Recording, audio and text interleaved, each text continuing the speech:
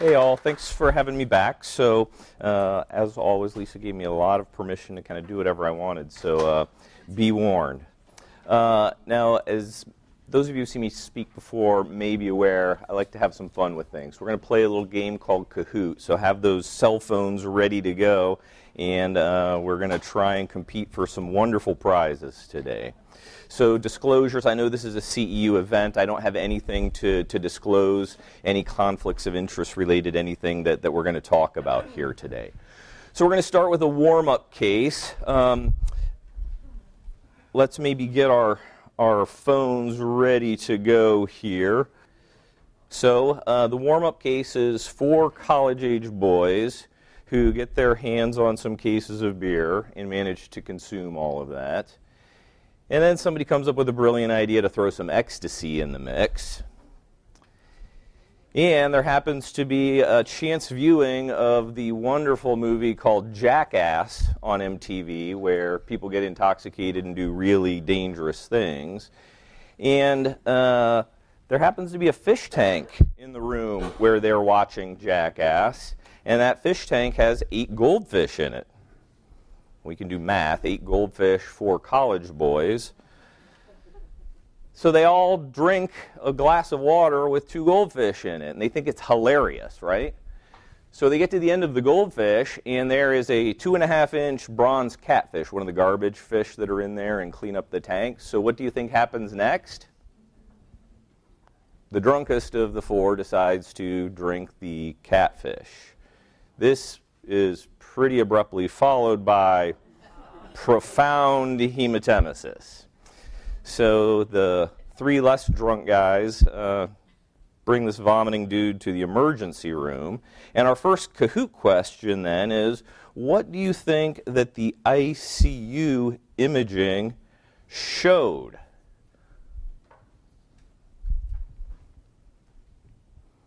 Get ready. Do you think it showed a tracheal foreign body, hit the red uh, triangle, an esophageal foreign body, the blue diamond, liver cirrhosis, the yellow circle, or an esophageal rupture, hit the green square? Five seconds. Five seconds. Get those answers in. You get more points if you get it correct, and the faster you, you get it in, uh, the more points you get. Excellent. 19 people thought he popped his esophagus. Four of you got it right. So let's look at our leaderboard. Sandy, charging to the top of things here. Excellent. We'll come back in and revisit this again shortly.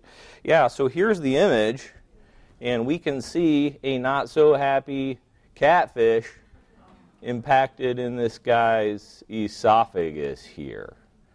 So obviously gastroenterology got called and they found Nemo. I told you, Lisa told me I could do whatever I want. So, you know, you're stuck with this for an hour, friends.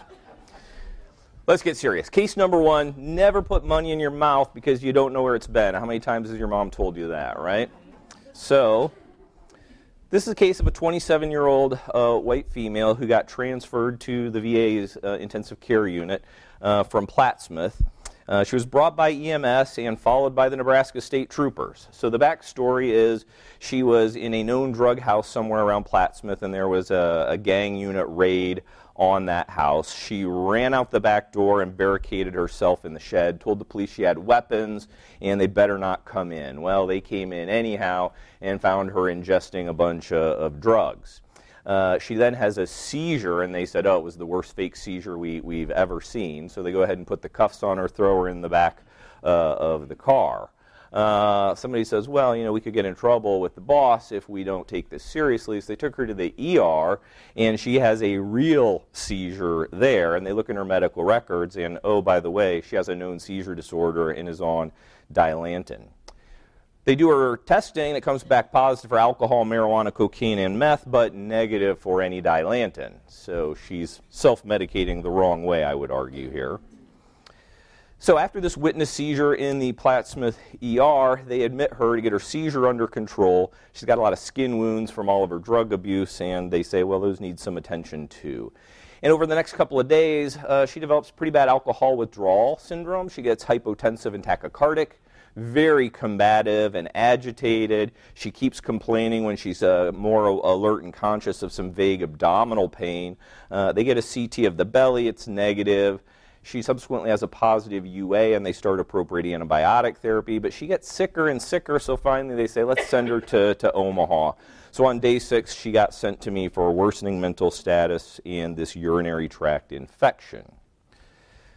When she showed up, she was in florid septic shock. It was very timely that Dr. Penn just told you about, you know, 50% mortality in folks who got septic shock. I mean, she's febrile to almost 105, blood pressure's dicey at 80s over 40s. You can see all those numbers look horrible. She's obviously volume depleted, uh, hypoactive bowel sounds. It's really firm, not rigid, but firm, and very tender everywhere, but more so suprapubic. Uh, the extremities were cool and clammy, and if you look on the screen here, you can see this petechial sort of rash that she's got everywhere uh, on her body, including in her uh, mucosa of her mouth. And she's starting to actually slough off some skin, so we are very worried about her. She gets sedated, gets intubated, central line, arterial line, a bunch of fluids, aggressive antibiotics. The labs come back, and of course, they look horrific too, right? Her lactate comes back at 9, and as you just heard, a lactate over 2 is a really scary observation. We wanted to get a CT because we figured her belly was the engine for the sepsis, but she was too unstable to go. So instead, uh, we got a KUB. Uh, at the time, we were getting a chest x ray to verify the endotracheal tube and central line placement.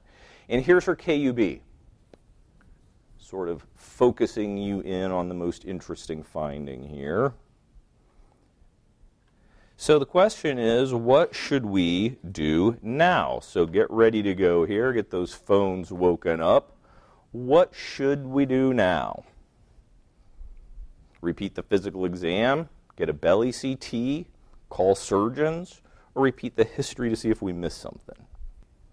Yeah, six of you agreed with me that we should repeat the physical uh, repeat the physical exam. So let's go see where this goes. Why did I say we should do the physical? Well, let me tell you, as a pulmonologist, if you want to become a legend in the ICU, you ask for a speculum. so, when I did a pelvic exam in the intensive care unit, I think the first time in recorded history at Creighton Medical Center, we pulled out a wad of $100 bills. So I bring this case up because what it was was a case of non-menstrual toxic shock syndrome. And everybody heard about toxic shock syndrome with the old tampons and all of that, right? That's what we all learned. Well, that's not what it's about anymore. And it's uh, occurring in uh, men. About 10% of cases now of this non-menstrual toxic shock syndrome uh, are, are, are, in men, and almost all of those are in the postoperative setting. But the reason I wanted to recircle around to this case is because the mortality is ridiculously high in folks who have non-menstrual toxic shock syndrome. And that's because the bug that causes this is a Staph aureus strain. In toxic shock, whether it's menstrual or non menstrual, it's a toxin mediated illness. And when we see this, we know that we've got a Staph aureus bug that is spewing out humongous amounts of a very, very virulent toxin. The good news is the bacteria are generally pretty antibiotic susceptible. So in this case, we removed the foreign body, put on some nafcillin, and she got dramatically uh, better quickly. Now I thought, case number two I've titled Cough, Cough, Cough. If you have a bad cough, take laxatives and you'll be afraid to cough. So this case is a 73 year old white male veteran uh, who showed up in clinic for evaluation of a chronic cough. Um, he was one of these guys who sort of scheduled six or eight weeks out, and then they called back and said, I'm not sure we can wait because having some hemoptysis as well. So we worked him in sooner. He's got no past medical history. 73 year old guy, no past medical history, no medications. I think that's pretty uh, phenomenal. On physical exam, it's pretty much unremarkable. He's already had a very extensive and kind of haphazard workup by his primary care physician. It's all been uh, uh, negative, uh, and that's why he's being sent to us. So we went back through his, his uh, workup that had been done, and we saw chest x ray here. Let you ponder that for a second. And he'd also had a CT uh, of his chest done. And I've got a, a section sliced through his lung here. So the question for you all is, you know, the answer is here in these images, but can you identify what the images I'm showing you are intended to represent? Is this a lung cancer, a bronchus suis, a cardiac bronchus, or heart failure? Four people got it. A cardiac bronchus. Oh my goodness. Sandy's still atop our leaderboard here. So, what the hell is bronchus? Suis and cardiac bronchus? Oh my gosh. So, realize that your tracheobronchial tree doesn't have, generally speaking, a lot of anatomic variation. When I run a bronchoscope down into your lungs, I know where everything is based on knowing the anatomy of the tracheobronchial tree there is a very, very rare anomaly here called this cardiac bronchus, and we'll look at the imaging again here in just a second. This is where you actually have an extra bronchus inside your lungs, and it comes right off the bronchus intermedius in your right tracheobronchial tree, and it comes sort of inferior and medially back towards the heart, so that's why we call it the cardiac bronchus. It's usually asymptomatic, but it can get infected or cause hemoptysis, like in this guy, and then we have to deal with it. So if here is the, the you know, the mouth is up here and the trachea is coming down, we get to the main carina. You got your right lung over here, your left lung over here. Uh, this is the right main stem bronchus, and the first thing we always see is a takeoff to the right upper lobe. And then this segment down here is what we call the bronchus intermedius. It divides and goes to the middle lobe and the lower lobe. With the cardiac bronchus, you got this little nub over here that again is coming medially and kind of inferiorly, and the heart would sit here. So this is the cardiac bronchus. So, trachea trivia time, my friends. We got two more Kahoot questions. The first one says, which mammal has the right upper lobe bronchus coming directly off the trachea. And the second trivia question which mammal has a single pleural space for both lungs? Are you ready? Which mammal, right upper lobe bronchus, coming off the trachea rather than off the right main stem bronchus? Is it the pig, the armadillo, the beaver, or the cow? Oh my gosh. Oh, yeah, everybody's groaning right there with you. Yeah, it's the pig. The pig. Excellent. RT to the lead. So let's get to our next trivia question. Which mammal has a single pleural cavity that houses both lungs? Is it the gerbil, the whale, the buffalo, or is it Donald J. Trump?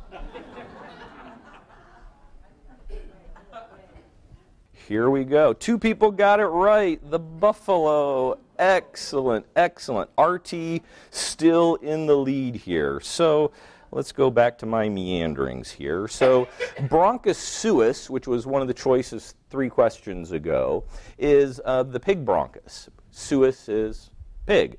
And pigs are interesting because their trachea comes down, and before this right uh, main stem bronchus comes off, look what happens. There's a little offshoot that goes directly from the trachea into the right upper lobe. And when we look down with the bronchoscope, what we would normally expect to see is the carina here, the right main stem bronchus here, the left main stem bronchus.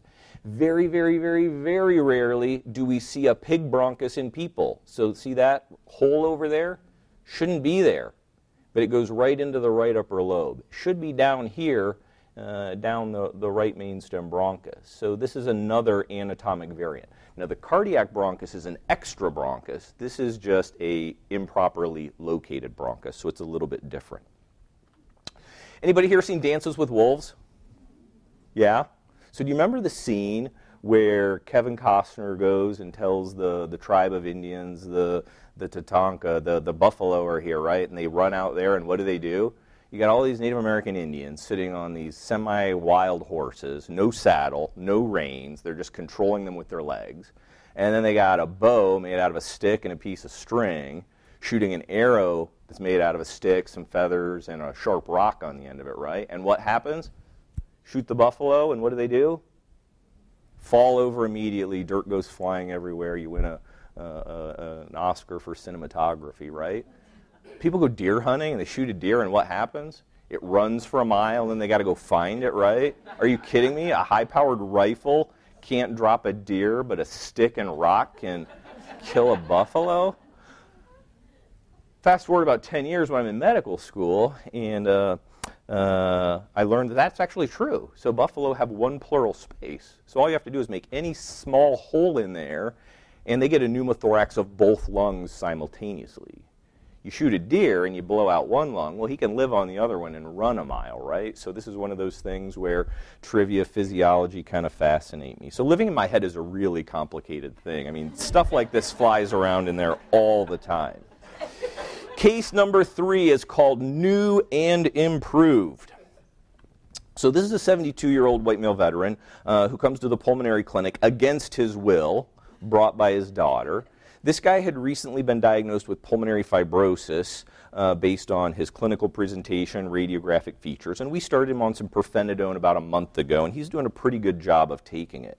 He accuses his daughter of interfering with his best efforts to die. Uh, he tells me that he's very active. All he wants to do is work on his farm literally until he keels over and die. He, you know, is very frank, saying, "I just want to enjoy the time I've got left because I know this is a terrible disease." She's brought him in because she thinks his breathing is worse. He says, no, it's not. It's the exact same. But what's interesting is that while we're having all this discussion, I noticed this rash that's new from when uh, I saw him last a month ago. And he tells me it first started on his face, and now it's on his shins and forearms. So here he is, and I think you can see uh, this rash on his on his face and his arms. So my question for you is what's the most likely cause for this guy's skin rash? Is it his IPF? Is it sun exposure? Is it skin cancer? Or is it his medications? Yeah, look at that. There are two right answers uh, sun exposure and, and his medications. Uh, RT, hanging on to our lead here. So let's talk about this. Um, pirfenidone, sold under the trade name Esbriet, uh, got approval by the FDA for idiopathic pulmonary fibrosis back in 2015. And it's got what's called fast track approval, which means they studied a lot less rigorously before it got approved by the government to be used.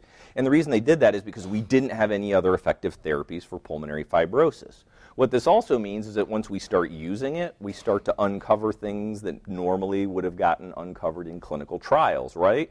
And that's where we learned about this skin rash and photosensitivity with pirfenidone. When you go back and look in the trials that got this medication approved for us to use in our pulmonary fibrosis, in teeny, teeny tiny little type, it is buried in there that there was a substantial number of patients, almost a third, who got these photosensitivity like reactions in the trials that led to, to the, the medication's uh, approval. However, because it was uh, so infrequently bad enough to cause people to stop taking the medications, they really didn't put a lot of emphasis on this. And instead, we find it more often uh, sort of incidentally when our patients come in. Oftentimes, they don't really even notice it. So we need to just do a better job, I would argue, of educating patients on the importance of avoiding the sun as much as they can. This guy needs to have a big floppy hat, long sleeve shirts, and using sunblock, none of which he was receptive to. Case number four is called A Bad Day. You ready for this one? This is a 39 year old guy who got admitted to my ICU for pain control. Doesn't happen often, but every now and then we get somebody who has intractable pain and they want to monitor them in the ICU. And his pain is in his face. So the backstory is that he was hiding from the police, wedged in the floor joists of his basement. And he didn't listen when they said, Come out or we're sending the dog in. So I'll tell you right now, if you got a queasy stomach, this would be a great time to look at the skyline over there or do some Candy Crush on your phone or whatever. Three, two, one, you've been warned. So here he is, and I think this lesions make sense if you were wedged in some floor joists with just your head sticking out and a dog came in at you. That's what's gonna happen to you. And all that white stuff is insulation that, of course, was crammed in the floor joists. So, if this guy were to suddenly develop severe septic shock, there's an unusual pathogen that you would need to think about prescribing antibiotics for. What is that unusual pathogen that needs to be covered? Is it a echinococcus? Is it dengue? Is it capnocytophaga? Or is it Naegleria? Oh my gosh, did he make all those words up?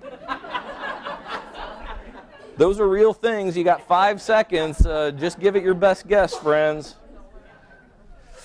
Yeah, it's capnocytophaga. Echinococcus causes uh, liver cysts, dengue you get by mosquito bites, uh, and Naegleria is the brain-eating amoeba. So I did not make those up. But we're going to talk about capnocytophaga here for a minute. RT still in the lead. Excellent. So, what is capnocytophaga? Well, we need to talk about bites first, and it's one of those things that we don't pay a lot of attention to. But you know, um, there's surprising amount of data on biting species that, that attack humans, and dogs top the list. Humans biting other humans actually come in second, cats are third, and then rodents are on down the list. If you look, men are more likely to be bitten by dogs, and women are more likely to be bitten by cats. That's a, a, a true, factual, data driven statement. And when we encounter patients in clinical medicine who've been the victim of a bite, we need to think about three things. What are the bugs in the mouth of whatever did the biting? What are the bugs on the skin of whoever got bitten? And then what are the bugs in the environment? And when we think about the, what's in the mouth of the biter, we need to be thinking about things like Pasteurella rabies, right? When we think about what's on the skin, it's usually staph and strep type bugs. But then in the environment, we need to know about Clostridium. So these are the things that we need to know about. Uh, and the reason we care about Clostridium is because it's what causes tetanus. Did anybody see the news the other night about a kid who survived tetanus and it was all part of this anti vaccination stuff? So, you know, yet another thing that we have to, to worry about. The problem is, you know, that bites are very dirty, nasty wounds, and uh, the rates of confirming pathogens are really high. Now, the data is not super robust, I'll be completely honest, but this did get published in the New England, New England Journal 20 years ago, and it's the best data we've got. And what it showed us was that these bite wounds are likely to be polymicrobial, so we need to be worried about everything, including the, the kitchen sink here. If you look, about half of the time there's going to be a mix of aerobes and anaerobes. A third of the time it's aerobic species alone, very uh, unlikely to be anaerobic alone. But about uh, 10% of the time we don't grow anything, even though we know it's there. And again, Pasteurella is the one that we've all been told to worry about. It's in dog saliva, it's in cat saliva. However, we can't forget more typical pathogens and anaerobes. Staph aureus, I would argue, is one of the big things we need to worry about in the year 2019 because MSSA is on our skin, and when we get bitten, it gets pushed down into those uh, deeper tissues. However, streptococci from the biting uh, species mouse is also a really big problem. This is the figure out of that same uh, paper that I was just talking about in the New England Journal, and it showed where we're likely to be bitten. And look at this dogs are likely to go after the hand, your thigh, your face, your shoulder. Cats, on the other hand, they go after the hand and the shoulder and not much else. And this kind of makes sense, you know, if you're playing with them or whatever and they, they nip you, this is where you're, you're going to get uh, bit. The problem is, 80% of bite wounds never come to medical attention, so we really don't know how accurate a lot of this epidemiology stuff is. Also not surprising, about half of bites occur in children, and this is usually, you know, the household pet, whether they're teasing it or it was it's by chance. There's also an interesting phenomenon that more dog bite wounds occur between April and September, and this is actually the origin of the dog days of summer had to do with this spike in bite wounds. So, more trivia for you for today. Dog bite wounds are really problematic because although they look dramatic with these big lacerations and the blood and guts hanging out and all that sort of thing, the bigger concern is actually the potential for crush injury. So we tend to be really good at washing things out and sewing it back together, but what if there's a bunch of crush injury underneath there and what you're sewing up is a bunch of dead tissue that's going to be necrotic because those dogs' jaws are so forceful. So you really need to, to think about this because the infection rates will easily double or triple if you've got a bunch of non debrided tissue under these wounds. Now, this bug capnocytophaga that was just in the question has gotten a lot more attention in the last six months because there have been some sort of high profile deaths that have occurred. So, this was uh, on the national news uh, this last summer about a woman in Wisconsin who died after what should have been, you know, a pretty minor dog bite wound, but she didn't comply with her post-bite antibiotics. This thing got infected. So this is what capnocytophaga looks like under the microscope. It's really difficult to culture because it requires really high carbon dioxide concentrations for growth. So the microlab has to work really hard, uh, which means they need to know that we're suspicious uh, of capnocytophaga. As I've already alluded to, it's part of the normal saliva for dogs and cats, and we can see it in humans too. The good news is it's very sensitive to antibiotics. You can sort of give them just about any antibiotic, and it's going to kill this stuff. The problem is, in susceptible hosts, it can devolve into florid septic shock very quickly. And what we've learned from these recent high profile cases is that patients who don't have a spleen are the ones who get into trouble with this pathogen. It's not just people who are splenectomized, though. It's also people who have other reasons their immune system doesn't wor- work so well. So, people with AIDS, people who are on chronic steroid therapy, poorly controlled diabe- diabetics, also people who chronically abuse alcohol, have structural lung disease, hematologic malignancies, or the very young and the very old. These are all groups of patients where their immune system doesn't work as optimally as it should, and these are the folks that we're seeing dying from this unusual pathogen. Case number five, dewdrops on a rose petal. Have you guys picked up yet that these uh, titles are intended to give you little clues here? Yeah? No? All right. So this is a 38-year-old illegal immigrant uh, from Nicaragua who showed up in the ER with progressive fever and cough that started about a week ago, and it's been slowly worsening. He now has had three days of this itchy skin lesions, and he's treating it with over-the-counter Benadryl, but it's not helping much. No chest pain, no pleurisy, no real sputum, no hemoptysis. His only past medical history is high blood pressure, but he can't afford his medications because he's homeless and living in the shelter downtown. Lots of sick contacts down there. No recent travel. Tells you he's been living in the United States for about eight months. No real childhood illnesses, no weird vaccinations or anything like that that he can recall. There's his skin. Looks like dewdrops on rose petals. And there's his chest x ray. He got a bronchoscopy that showed this, looking right down his trachea there. So, my question is what do y'all think that we should do next for this guy? Do you think we should call palliative care? Should we send him to the biocontainment unit over at UNMC to hang out with the Ebola patients? Start vancomycin or start him on acyclovir? Yeah, excellent. 15 of you got this. Uh, we're going to start some, some acyclovir here. RT still in the lead. So why are we starting acyclovir in this case? This is varicella pneumonia. So varicella is chickenpox, right? And uh, although chickenpox isn't seen in adults very commonly, we need to be aware that adult cases are increasing, and when you see the disease in adults, it's way more likely to severe uh, way more likely to be severe. And for us as pulmonologists, we dread seeing this because varicella pneumonia develops with a surprisingly high frequency in these folks. The risk factors for developing that pneumonia is if they've ever been a smoker, if they have greater than 100 lesions on their skin, or if they're pregnant, particularly in the third trimester. Those are the folks that we really lose sleep over.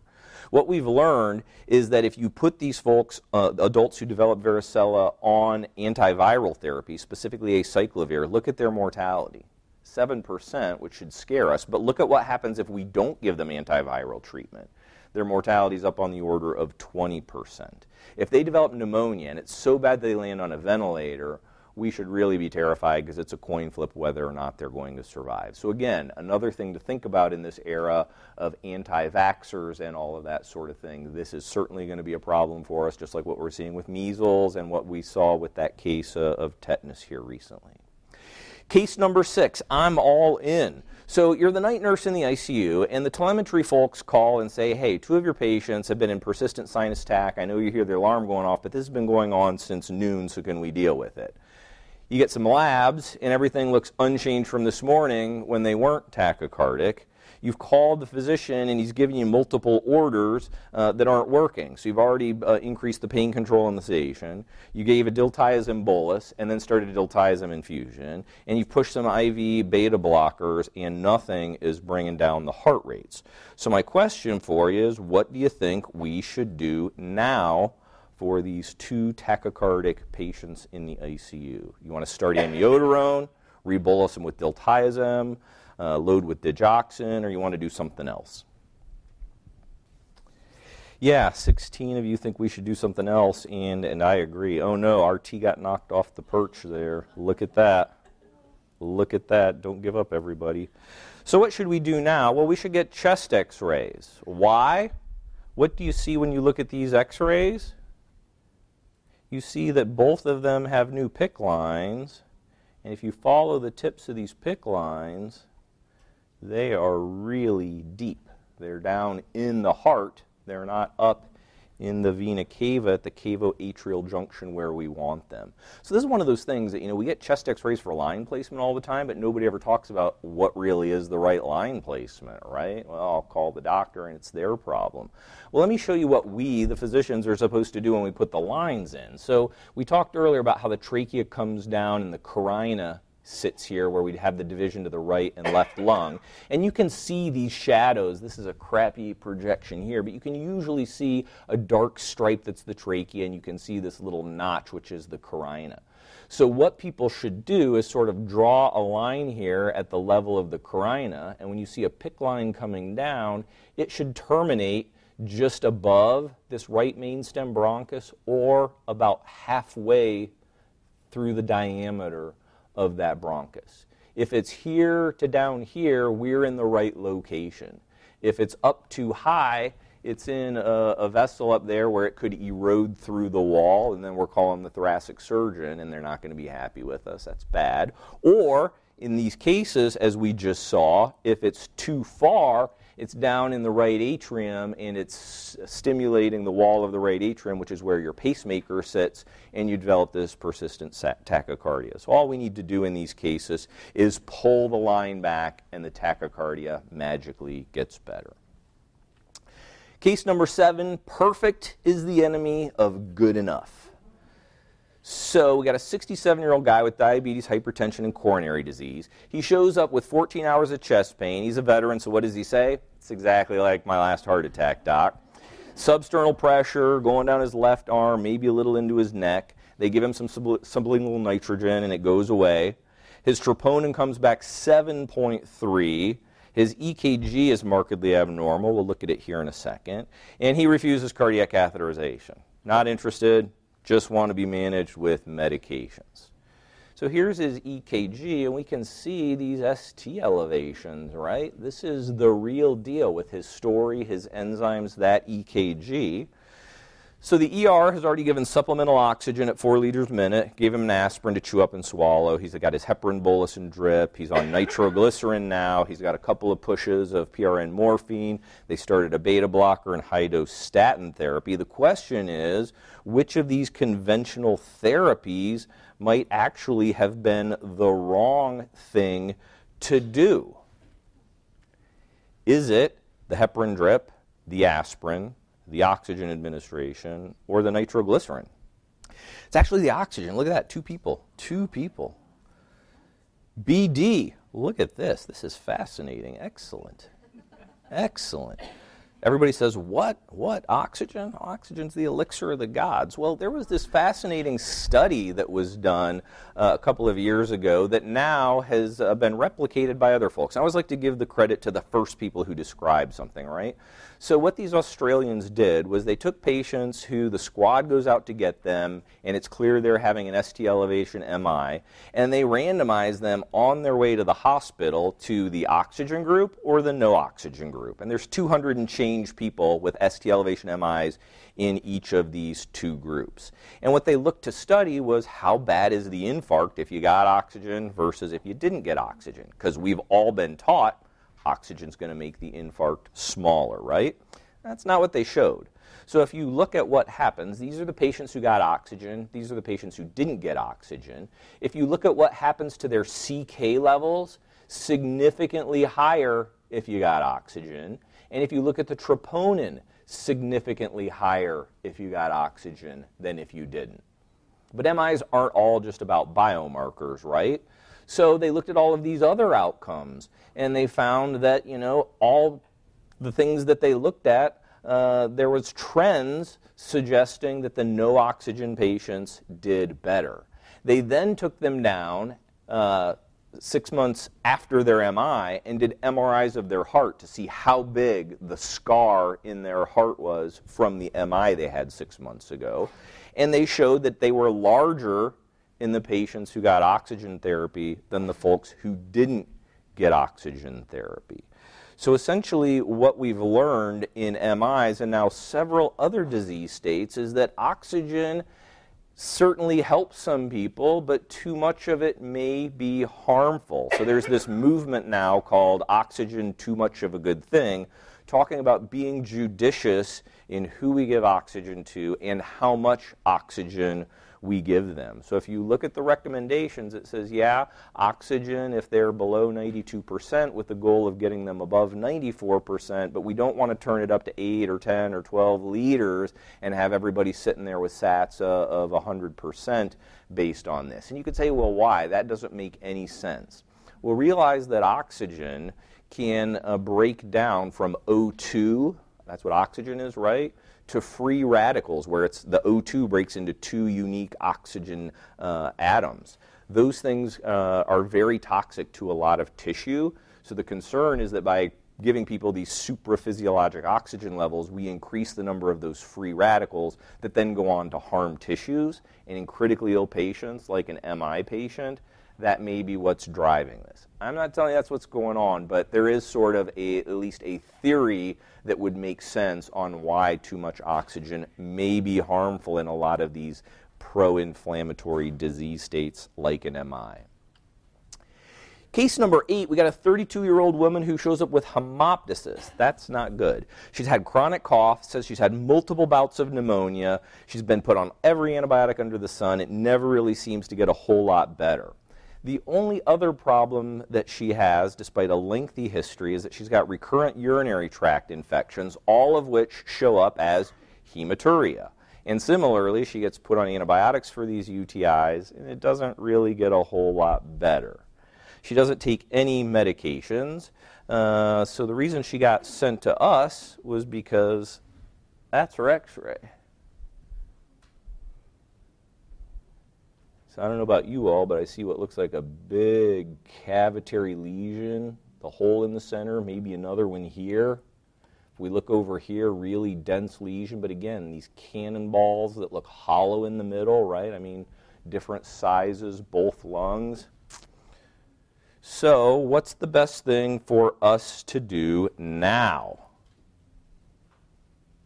Hemoptysis, UTIs, abnormal chest x ray. Call palliative care, consult oncology, bronchoscopy, or give her some more antibiotics.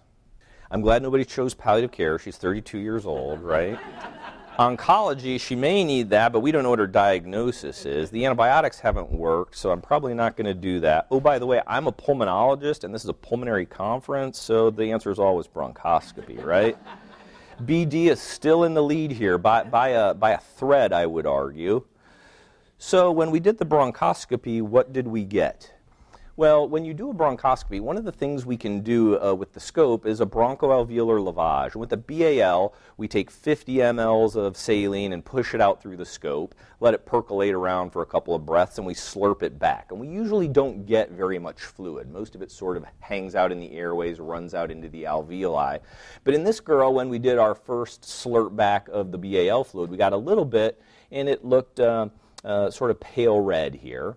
We then push another 50 mLs of saline out, and what happens when you do that is whatever was left behind from the first 50 mLs, you push it even further out, let it sort of mix around, and then we suck back. So now we tend to get more fluid after the second aliquot than the first one. And look what happened. It got more red than the first aliquot. Well, then we push a third aliquot of 50 ml, so we're ideally pushing all of that fluid out to the alveoli, letting it mix around. And then when we aspirate back, we get a usually an even larger volume of fluid here, and it looks like cranberry juice. So when you see this pinkish to reddish to cranberry juice sort of phenomenon, this progressive reddening, it tells you that you have alveolar hemorrhage. There's blood out in the alveoli. Alveoli have to get really, really angry to, to bleed, and the differential diagnosis changes quite a bit in these folks. Now remember, she had the hematuria too, right? So we thought, well, there's something going on in the lungs probably is tied to the kidneys if they're both bleeding. So she got a biopsy of her kidneys, just a needle through there, and this is a glomerulus here, and we can see these areas of dead, bloody, necrotic um, uh, glomeruli here.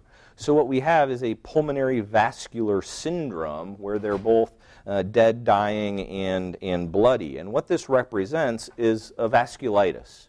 Now, vasculitis is one of those things that we don't talk about a lot because we don't see it a lot. But we need to talk about it more because it's really easy to attribute the symptoms to recurrent infections in her, and she got antibiotics and more antibiotics, and that's never going to fix her problem, right? So when things go off the rails, we need to think differently, and vasculitis needs to be on our differential diagnosis. When a patient shows up with vasculitis, we have to do two things. We have to assess how active it is, and in her case, she's bleeding into her alveoli, she's bleeding into her glomeruli. It's very active, right? We got to put a stop to that. Once we do that, then the second thing we need to do is measure how much damage has this done over time.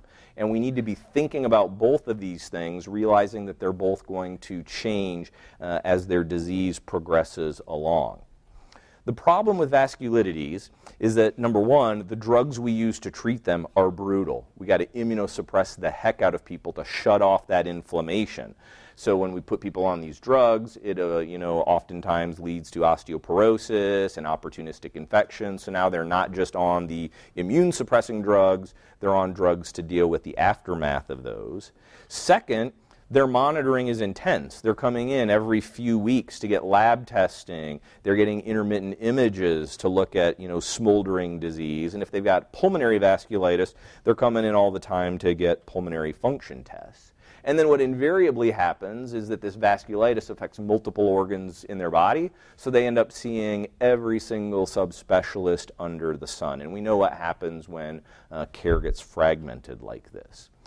So what we try and do is have some sort of tools to keep us focused on monitoring this, and this is the combined damage assessment for vasculitis. So it goes organ system by organ system and shows you everything that needs to be looked at. So I think right there it should highlight what a devastating problem vasculitides can be.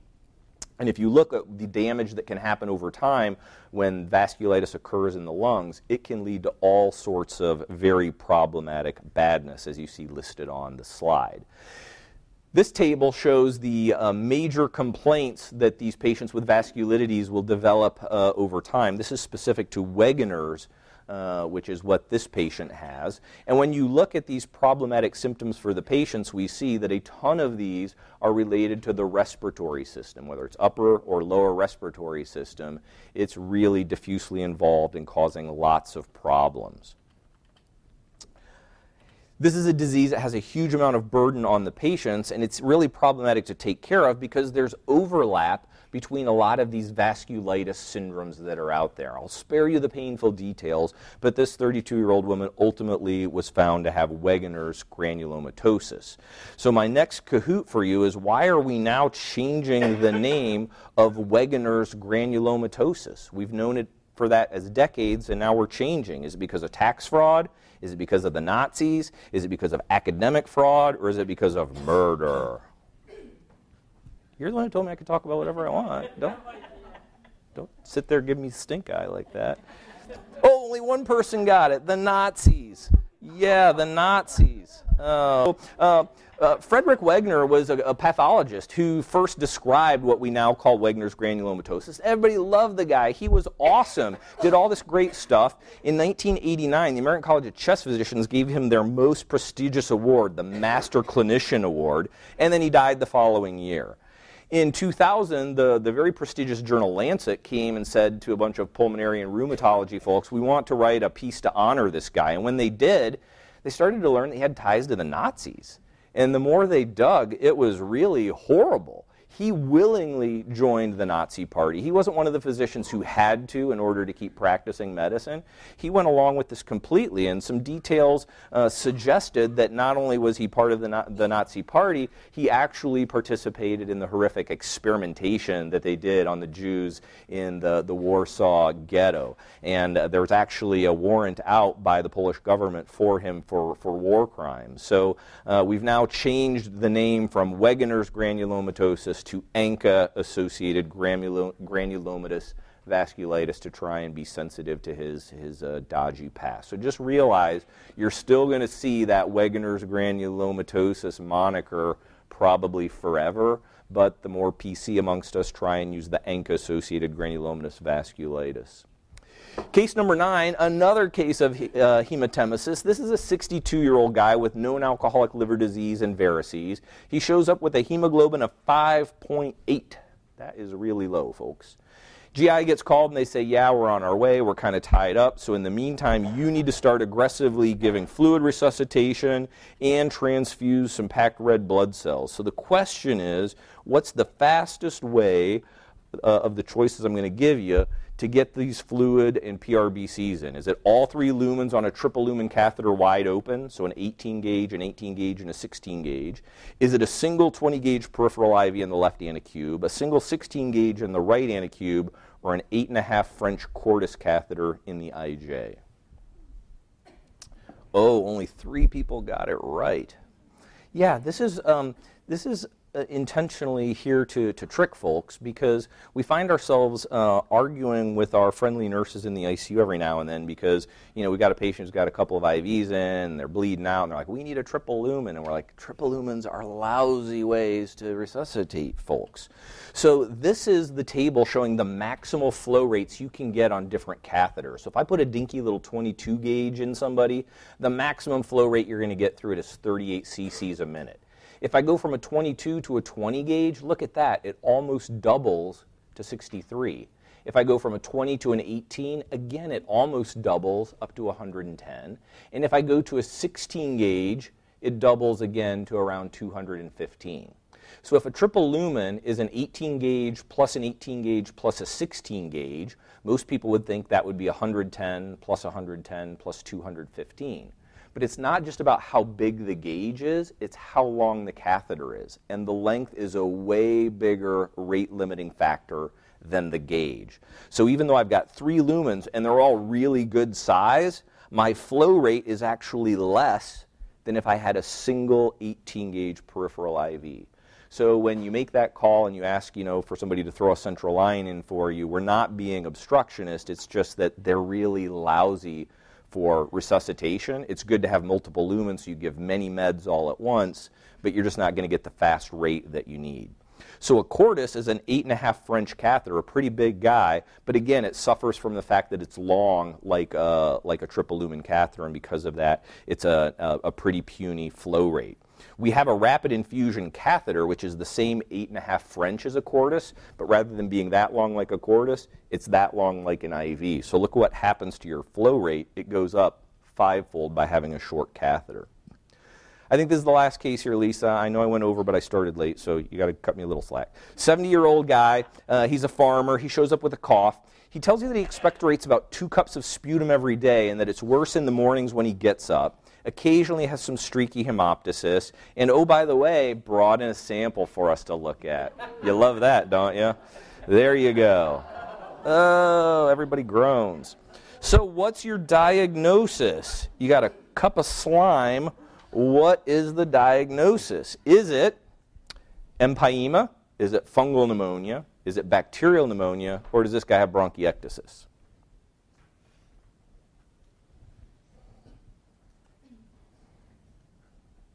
Yeah, he's got bronchiectasis for sure. Oh, we, we got a dogfight. Look at that, 17 point difference here. So, why is this bronchiectasis? Well, bronchiectasis just means that you've got this abnormal dilation of the, the bronchi and the, br- the branches. So, if this is what it normally looks like over here, this is what bronchiectasis looks like. And you can imagine these things fill up with mucus that gets infected. It leads to more bronchiectasis, which leads to more nasty mucus over time, and it becomes this vicious cycle here.